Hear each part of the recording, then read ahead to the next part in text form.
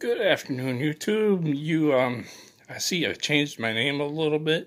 Same stuff, just changed name a little bit. It's Jay's Badass RCs and Reviews. Today we have on the bench the Dukono Pro. Um, I have taken it already out of the box and tested it a little bit and, um, get rid of all the straps and the garbage and stuff like this. So this will be a lot more, this will probably a little bit more easier doing it this way, and I'll give a little more in-depth review with it. So, so let's get to reviewing this bad girl.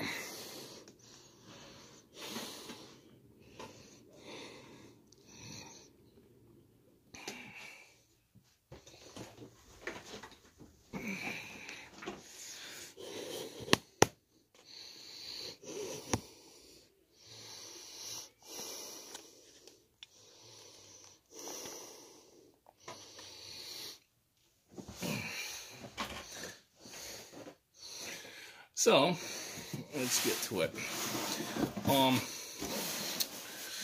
as you can probably see, is all the specifications, don't mind that, all the specifications for it. Um, it lets you know that the transmission and the width and everything. Um, this is a little bit different for me because I'm usually just taking it out of the box, see what I got, and then that was it. But this one's a little bit different because I'm going to kind of get into depth with this one. So maybe a little long, maybe short, I don't know yet. see how this goes. This is included 110 brushless monster truck ready to run. A 2.4 radio system. Interest requires as the four batteries for the transmitter, and 2S LiPo and LiPo battery charger, which I already have. So uh, I'm pretty well set with this. So, and then over here, it kind of gives you your chassis, what your chassis looks like. Um, over here, it's got, you know, different colors for the body. And there's just another picture of it. More details here. So let's um let's open her up and go more into detail with it. Like I said, I went through and cut everything, so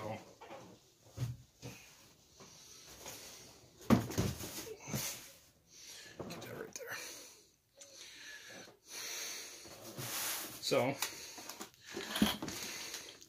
we get our manual and you know, antenna tube and light clips and stuff. And you can put lights in this too if you want to, which I don't know what I'm going to do yet. I'm thinking about it, but not quite quite sure. Excuse me. We'll go through that in a minute. We have our 2.4 gigahertz controller. You know, lift this up. These things irritate me, but it is what it is. But here's all your trim functions, your steering trim, your throttle trim, uh, steering rate, your servo reversers, and you got your on and off button, which obviously I put batteries already on it. Um, let's pull this out of the box. It's a lot more easier this way. That way. And there she is. Let's bring this down so you can probably see it a little bit better.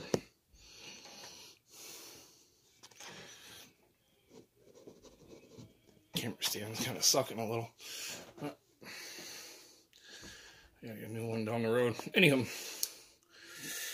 this is what we got. Fix my stand a little. What's going on here? I have a small one too if I necessarily need it. Um, there's the truck. Mm, the gears sound awesome in that. I don't know if you can hear that. You can tell the tire's a little dirty because I've taken it out, to test riding. It's from what I've done with it. Excuse me.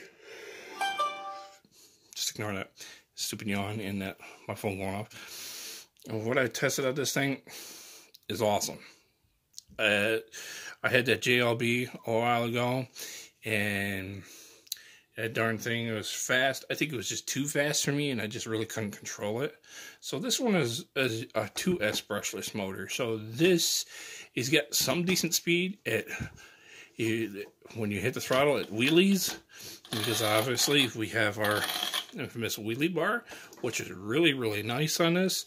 Um, a lot of spin to it, and it's an adjustable wheelie bar, which I like. So I can maybe bring it up to this other bolt and bring it down a little bit more. Um, but I think I'm just going to leave it just as it is because it's a nice little wheelie machine.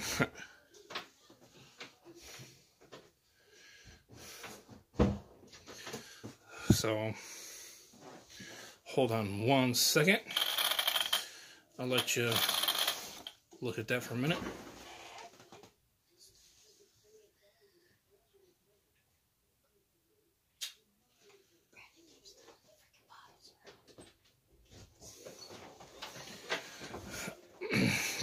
Sorry for the interruption, folks.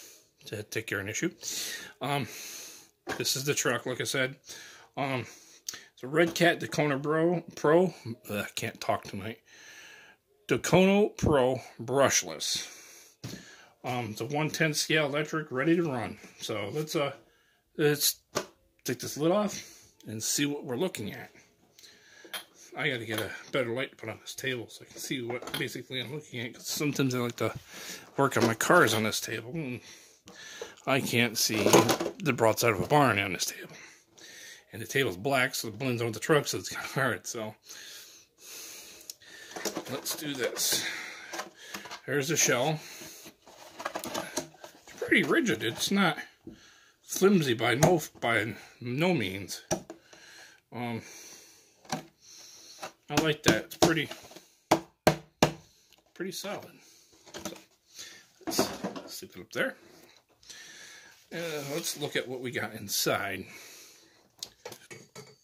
I know what you can see, but we're going to go into depth with this a little bit. All right. Um, as far as I know, this is a 60 amp ESC um, you probably could run a 3S on this, but you'd have to unplug this fan because a 3S would give this so much torque that it would heat up so fast and probably blow this. Or you can go down the road and just order a better ESC for it and amp it up a little bit. But I think I'm, I'm just going to keep it as is. I'm just going to run this right out of the box. You know, maybe go a couple like milliamps higher for um, the batteries, other than that, I think I'm just going to keep it as is. I like it. Um, I'm going to take a look. There's, how about we turn this around?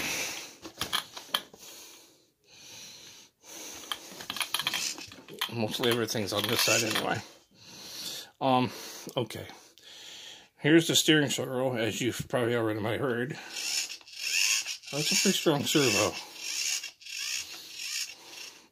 and it, it, turns pretty good. I can't complain that it doesn't that it doesn't turn, but it does. So you know, sometimes they look a little wonky when they turn, or they skip and then turn. No, this one works right on the dime. So I don't know how many kilovolts it is. It's a Hexfly uh, HX115S servo. So that's pretty good. Um, I could probably, might even help me if I probably read the specifications on the side here as I'm pointing them out. Okay. Let's see. The motor type is a, the motor type is a 540 3300 kV brushless motor. So that's a pretty good motor. Um, drive system obviously is a four-wheel drive. Um, the width is 325 millimeter. Height is 205 millimeter. Length is 465 millimeter, and the wheelbase is 275 millimeter. Shocks are threaded big bore coil over oil filled shocks. That's these. And they do feel they do feel adjustable. So that that that's pretty good. they do feel adjustable and they're pretty big. And it has, it's pretty good. It's got a pretty stable. Um, obviously the chassis, everything is made of plastic. Maybe you got a couple little metal parts in here, but nothing, there's not nothing substantial to be metal. Uh, everything seems to be plastic. Um, yes, the ESC is uh, brushless, 60 amp waterproof. Um, that's pretty much what's that. Um, so yeah, um, and like I said, the motor, that's a nice size can. I like that. It's a nice can. Here's your on and off switch right here. Um, there's your receiver box. Um, it, these these links and stuff seem to be adjustable, but I can't be. They look to be adjustable. The lower A arm seems seems to be pretty pretty rigid. Um, shocks are pretty good. Shock mounts are looking pretty good. Sorry, I'm going off camera here. Stuff out of the way so I can do this. Um, yeah, it's looking pretty good. Like the links looking pretty good. This is can't tell if it's metal or plastic. It doesn't see as like giving any give, so I think it's metal. So I've been outside all day. It's a long day. Um here's the front end. The front end looks pretty good. Um the A arms seem to be pretty good. The lower A arms. I'm surprised there is no upper A arm. But hmm, I think usually with brushlesses they don't. I could be wrong. Um, there's a bumper. Bumper seems to be pretty tough. But my thing is, I ain't worried about the bumpers. It's right here because sometimes if you take a corner, a corner impact, is it going to resist? This, that's my biggest worry with these. But I have been learning in time that I'm going to start taking it easy. if I'm going to drive these full speed, I'm going to use a lot of open space to do it, which they probably tell you that's what you should do in the manual. But my thick headed, stupid self doesn't want to do that. They want to go out and show everybody and that comes across and be like, oh. So, but everything's looking pretty good on this. The tires are pretty, they're a little soft. They pretty grippy. At that. Pretty grippy. Let me see.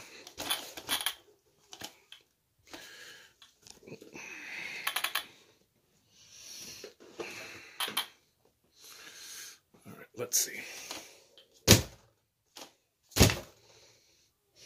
Got some resistance to it, I'll tell you that. So, let's slap this back on. Let's go through the manual real quick. I usually don't go through manuals, but it wouldn't hurt now, would it? All right.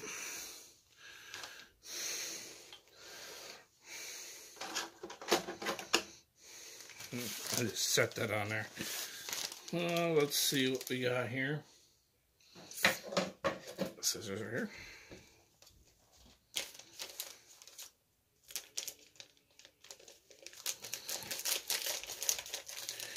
Well, guess what, Jay? Time for new scissors. Not cutting like they used to. Alright. I also have uh, few more, a couple more vehicles coming. Um, I bought myself. Um, a couple of them were within the two to three hundred dollar range, and the one I got, the other one I got, is I'd say 350 to four. I'd say about four to 450 range. and that one is a little bit bigger than this beast. So I got a couple of them. I got another Red Cat coming. I got an Arrma coming, and I got an Exceed coming. The Exceed, I'm going to do an unboxing everything because there ain't too many of this one. This one I think is new to the market, and I was surprised at what I saw. I bought it off of Amazon. Um, it's a beautiful vehicle, beautiful vehicle. Uh, I'm going to try to cherish this one. This one I'm going to treat it like a piece of fragile glass when I get it. So, all right, let's finish this. All this stuff in here. I'll get rid of that. All right, let's see what we got here. Oh, well, I did say earlier that it gave me focus in there light clips. So, like I said, if I wanted to, I can add bucket lights here in the front. And you got mm, one, two, maybe a couple in the back. I think, how many clips are in here? Four clips in total. So I can get like a four light set, maybe two white in front and two white in the back. I think that should work out all right. So I'm gonna look up something like that. There's that. Um, here is your antenna tube and your bind plug. Oh, hand down too low. And you probably can't see because it's got light shining on it. Here's your antenna tube and your bind plug. This is the first piece of paper we got. This first piece of paper we got, let's see. I can't tell you what it is if it's upside down. Come on, Jay, get with it here.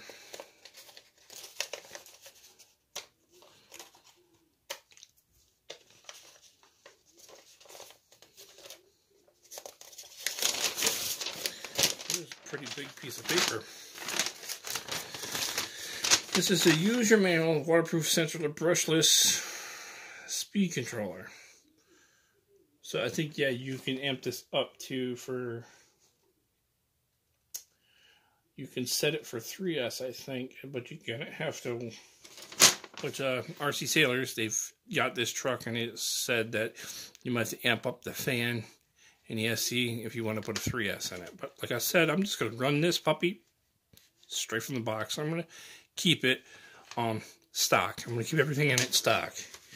So... Um,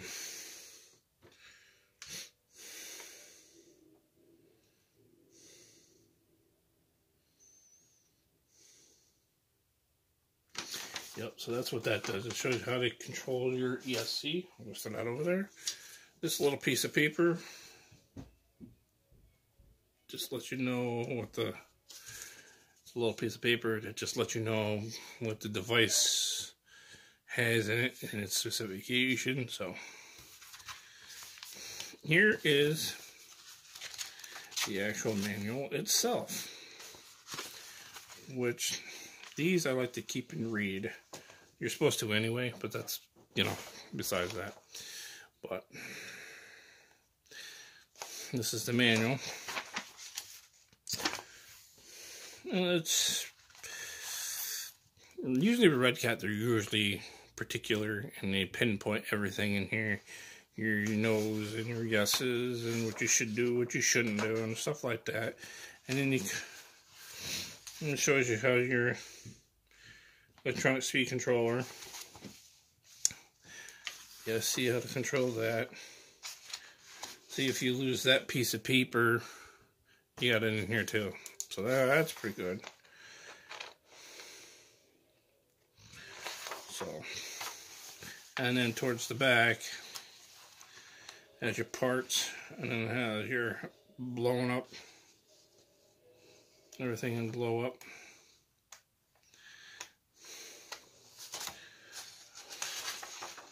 So that's pretty good. Parts lists, numbers.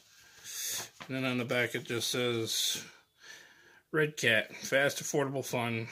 RedCatRacing.com. Follow social media, which I basically have all these guys, all this, except for the Instagram. Yeah, also the Daycona and Daycona Pro. And Daycona runs on the, the brushed motor. It has a 550 can brush motor and all that. And it, I think it comes with battery and everything. But I didn't want that one. I wanted the Beast. So. And here is your 110 scale hop up parts compatibility cart chart. This is if you want to upgrade stuff into it. This shows you what to do, how to do it. That's basically what this is. And then we got this. This. Oh, sorry about that. We got this. This is how everything should be hooked up.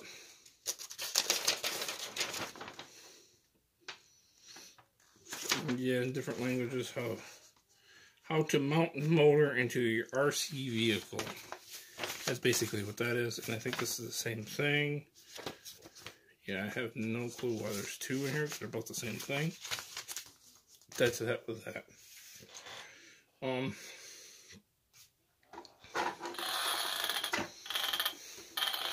you can hear that. That's so. That is the Metal Gear. Inside, there's Metal Gear. So that's a good thing. A good thing to know. I don't think this has any of that. I don't think so. Um, yeah.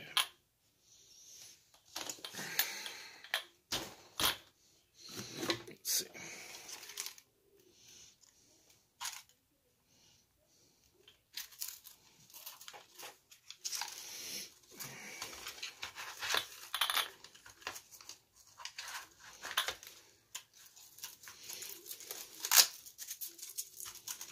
I'm just going to do this real quick.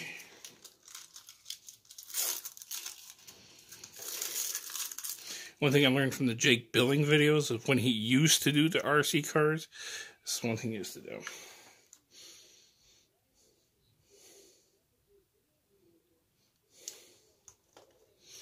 So, what you do once you got your plugged in, you um, once you got it plugged in, you turn around. And then you come over here.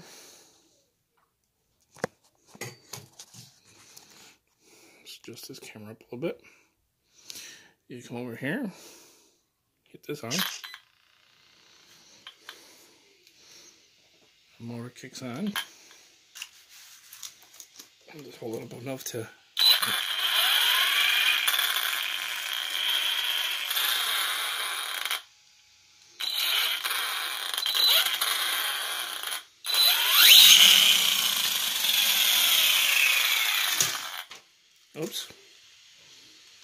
paper everywhere.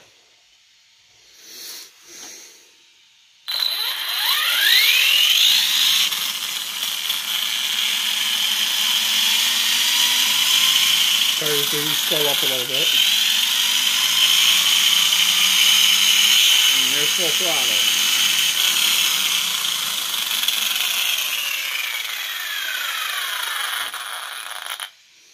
So that is, that's a beast.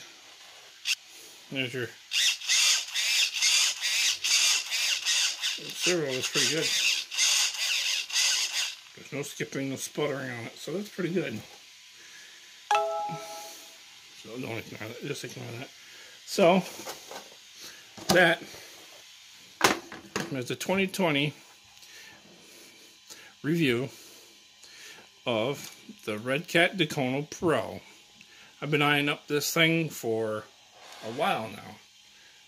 I went, oh, eyeing it up, I say, since uh, since the the JLB broke.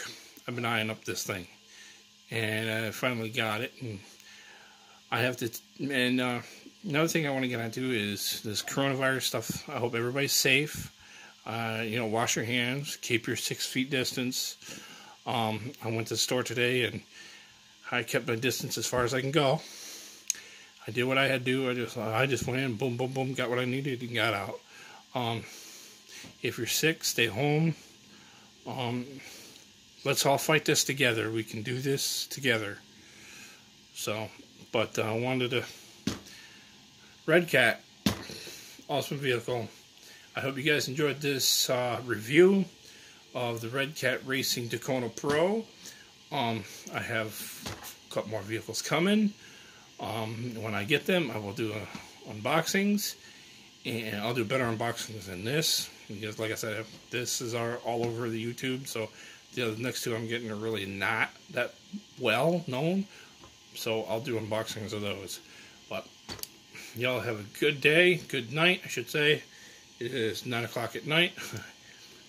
um, I have my own room here now, so I can do this. I don't even have to go down cellar. You know, I got a table, chair, everything. I'm good here. Um, so stay safe, stay stay healthy, wealthy, and wise. Like, comment, subscribe. You know what to do.